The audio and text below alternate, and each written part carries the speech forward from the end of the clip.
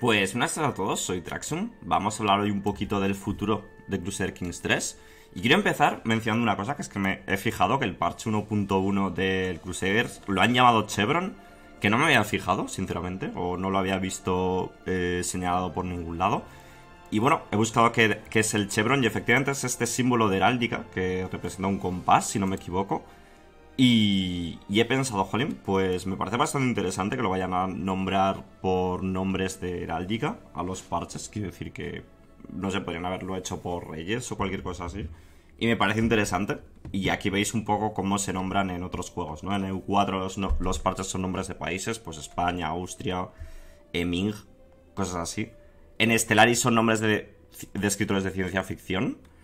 En el juego 4 de operaciones militares y en el Imperator Rome son de personajes. Y no sé si me estaba faltando algún juego, creo que no. Porque los parches del CK2 creo que no les ponían nombres en sí. Y no se me olvida ningún juego, ¿verdad? El Victoria. El Victoria del parche 3.04 nunca recibió un nombre. Es uno de los grandes. De los grandes puñales que tenemos clavados. En fin, vamos a hablar un poquito de lo que creo que va a ser el futuro de eh, Crusader Kings 3, que sí o sí hace referencia a la versión 1.2. En principio, si se mantiene esta tendencia, esta versión tendrá un nombre de heráldica, sabe Dios qué, igual se llama eh, Campo de Gules, algo así. Es coña, ¿eh? No sé cómo se llamará, pero para que os hagáis idea, entiendo pues que tirarán por esos nombres. En fin, parche 1.2. ¿Qué debería traer, qué debería tratar el parche 1.2? Bueno, aquí cada uno podéis tener vuestras necesidades. Mi planteamiento es que el juego ahora mismo tiene un sinfín de posibilidades que explorar.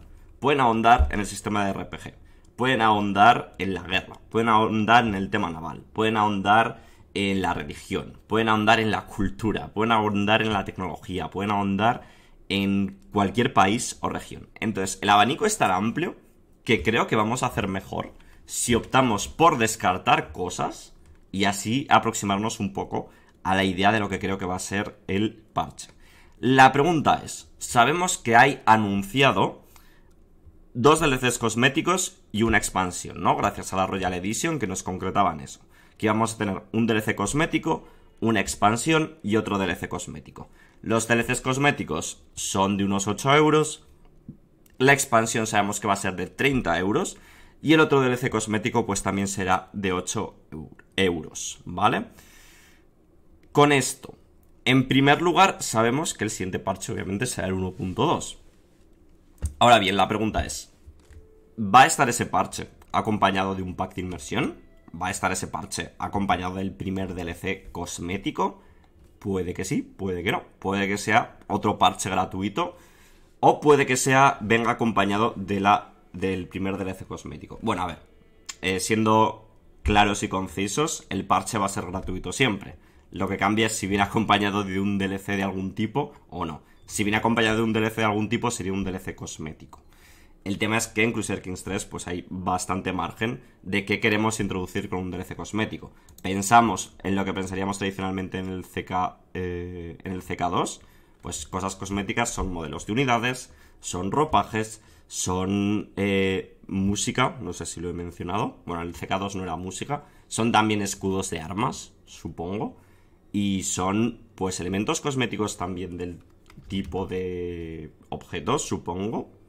Quizá eventos, cadenas de... Me refiero un poco a cadenas de eventos, nuevas decisiones, etcétera, ¿no? Podría ir un poquito por ahí.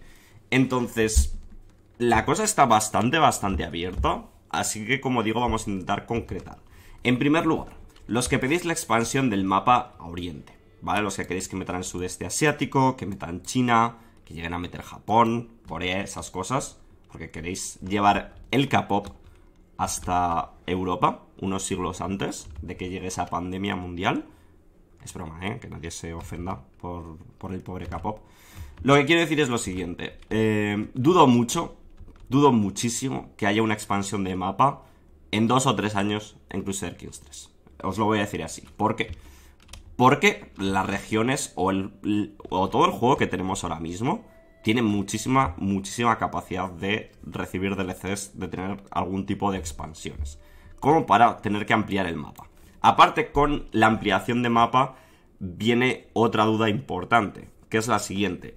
En Crusader Kings 3 tú puedes jugar donde te salga de las narices. Puedes jugar con el país que quieras en, en los dos momentos que quieras, ¿no? Por así decirlo. Si hay una expansión del mapa, el jugar en China, el jugar en el sudeste asiático, sería gratuito. Entonces, ¿qué es lo que nos van a cargar? ¿Nos van a cargar con mecánicas únicas para esa región? ¿Nos van a cargar con la posibilidad de jugar en esa región? Lo veo muy, muy difícil. Entonces, de, primeras, me parece algo que es complicado de monetizar. Aparte que, como digo, antes veo 10 DLCs de cualquier tipo en el resto del juego. Antes que la necesidad de introducir Oriente o introducir Asia. Trax, ¿es que no quieres que metan a los chinos?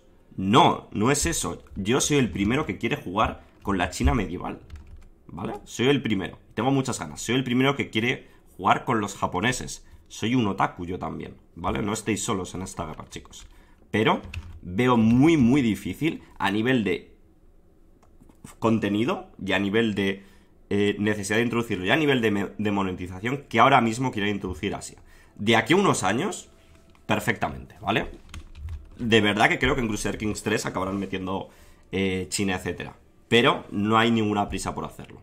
Es que antes eh, tiene que recibir cariño muchas cosas, ¿no? En segundo lugar, sabemos que va a ser un DLC cosmético. Yo no esperaría grandes introducciones de mecánica, no, no esperaría grandes reworks en este DLC.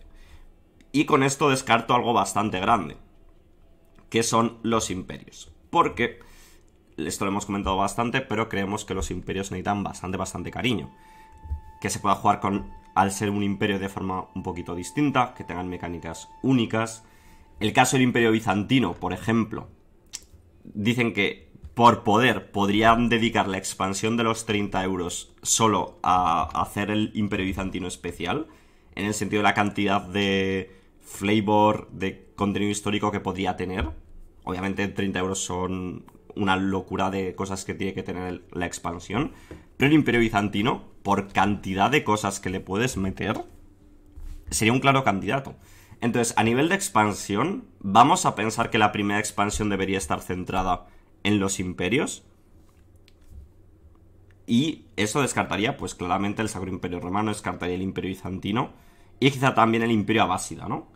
Eh, que aquí no se está viendo bien, ¿no? Porque no he puesto la otra fecha. Pero tuvo como mucha interacción con el Imperio Bizantino. Quizá incluso centrado solo en dos, ¿vale? Y yo creo que iría por ahí la cosa. Entonces, como no sabemos hasta qué punto también quieren introducir mecánicas con los parches, yo no creo que lo vayan a hacer. Siendo un poco pragmáticos, dudo mucho que lo hagan. Y pensaría que, va a ser puramente cosmético el primer DLC que recibamos y que no va a haber introducción de nuevas mecánicas salvo cosas pues que no hayan podido estar en el lanzamiento ni en el parche 1.1. Entonces, siendo pragmático, yo esperaría eso, un DLC pues que como digo introduzca eventos, decisiones, eh, ropas, escudos de armas, eh, nueva música, nuevas ropas, en alguna región o país. Quiero pensar mejor en tema regional. Y bueno, tenemos varias cosas descartadas. Tenemos el Sacro Imperio en ese aspecto descartado porque ya hemos tenido un DLC cosmético del Sacro Imperio. Y luego el otro creo que era de los Abásidas también, ¿no? O de los Fatimids. Estos creo que fueron los que recibieron el otro DLC. Uno lo conseguíamos por reservar y otro por la edición real, por la Royal Edition. Entonces, esos, esos están un poco descartados. ¿Qué nos queda? Pues un poquito ya cualquier cosa, sinceramente. El DLC cosmético se puede centrar en Rusia, en Escandinavia lo vería difícil, creo que Escandinavia podría ser foco un poco de, expansión. Inglaterra creo que es otro claro candidato, toda Inglaterra en general, a recibir algún tipo de pack cosmético. Lo mismo pasa con Iberia, también es clara candidata o con Francia, ¿vale? No sé muy bien cómo lo querrán centrar. Si harán, por ejemplo, eh, reinos católicos occidentales o reinos católicos orientales o, hordas, por ejemplo, ¿no? O sea, no sé si lo harán un poco por regiones o lo harán más por la idea de países.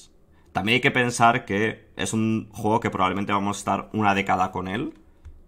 Sí, yo diría que tranquilamente Crusader Kings 3 va a tener una, una década de desarrollo. y apenas estamos arrancando el primer año. Entonces, pongamos que va a haber un gran DLC al año. O sea que yo esperaría tranquilísimamente la primera expansión para mayo, junio del año que viene. Tranquilamente. Y el primer DLC, pues lo podríamos tener a finales de este año. El primer DLC cosmético, finales de este año o principios del que viene. Rollo diciembre, enero, febrero. Algo así. Es lo que yo pensaría. Entonces, quizá tengamos un parche gratuito, la 1.2. Eh, bueno, el parche es siempre gratuito, tengo que dejar de decir eso. La 1.2 quizá la tengamos en un mes, dos meses. La 1.3 con el primer DLC cosmético en un poquito más de tiempo, ¿no? O quizá, como digo, el primer DLC cosmético llega con la, con la 1.2. Es que no lo sabemos hasta que lo revelen, ¿no? Ahora estamos un poco especulando, teorizando.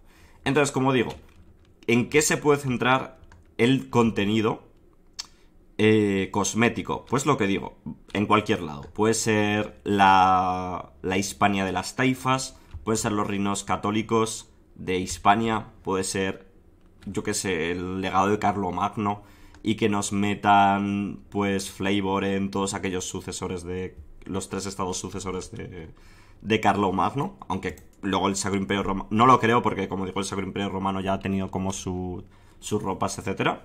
También habrá que ver exactamente qué vienen los packs estos. Puede ser también Gran Bretaña. Yo creo que Gran Bretaña es un claro candidato. Es, es que es una época muy popular en la historia. La, Inglaterra medieval y tal es muy, muy popular en la historia. Y a lo que va a de Assassin's Creed Valhalla y tal, ¿sabes? Es como un no-brainer. Ese es, yo si me decís, Trax, tienes que hacer una apuesta, yo diría Gran Bretaña. Eh, temas cosméticos, ¿vale?